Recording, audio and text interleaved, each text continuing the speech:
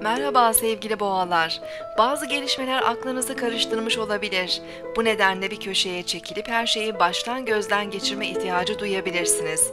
Değerlendirmelerinizi dikkatli yapın ve detaylara da gereken önemi vermeyi ihmal etmeyin. Bugün 25 Mayıs 2014 Pazar, Güneş günündeyiz.